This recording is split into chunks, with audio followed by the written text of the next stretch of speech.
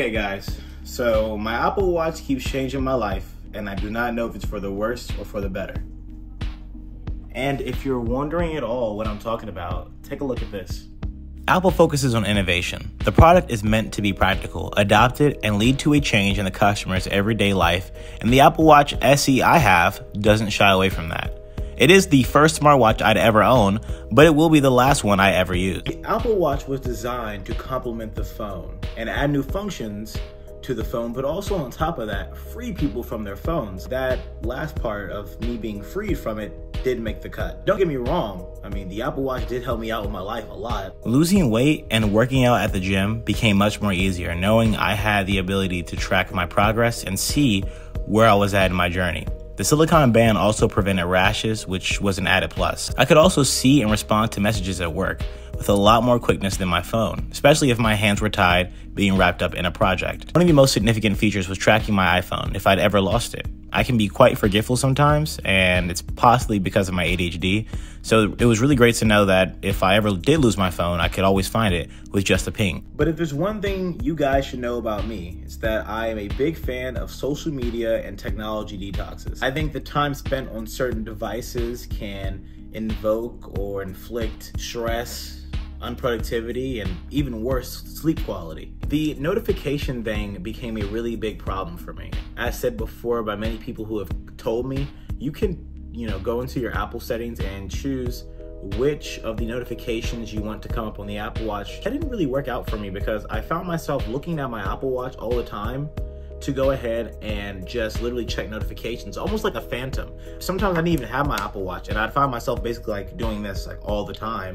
And I think the reason why is because I'm so used to having the Apple Watch there and looking at it that it almost becomes secondhand nature. Looking for notifications, I go down this wormhole once again where, you know, I try to go ahead and text somebody on my phone, look up notifications uh, that come to me from emails, you know, um, things that come up from Instagram. It makes me more enticed to pick up my phone. And not only that, I go down this whole entire wormhole again on the iPhone. And personally for me, I just didn't like that the charging. So I know for a fact that personally, um, I liked the original earphones. I really did like AirPods in the beginning, but I noticed that I always had to keep charging them over and over and over again. And that became really, really, really just tiresome. Personally, for me, I just don't like that I have to go ahead and keep charging this Apple Watch. Definitely does kind of affect my day. I mean, it doesn't affect my day greatly, but would it be kind of cool for me not to charge this watch and just keep going on my life compared to a regular watch?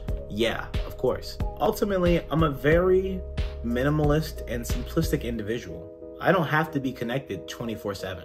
It brings actual value and gratitude into my life when something isn't in arm's reach to me all the time. Too much devotion to technology does tend to steal that precious time towards the most beautiful moments in life, such as our family, friends, and even nature. As Bruce Lee once said, It is like a finger pointing away to the moon.